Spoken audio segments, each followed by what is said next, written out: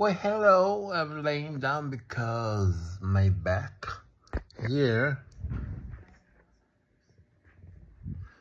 that's where it's pain. So,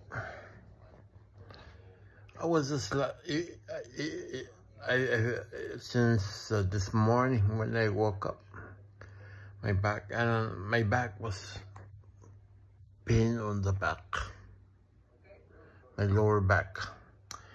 And I'm using this um, uh, this is a, a Filipino cutting cutting Katinko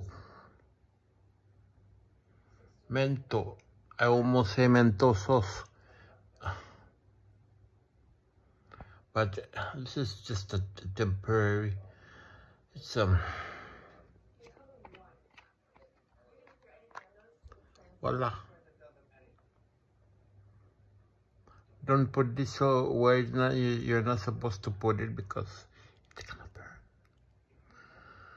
So I just put it on the back. Oh shit. And massage and just massaging myself. Uh, okay.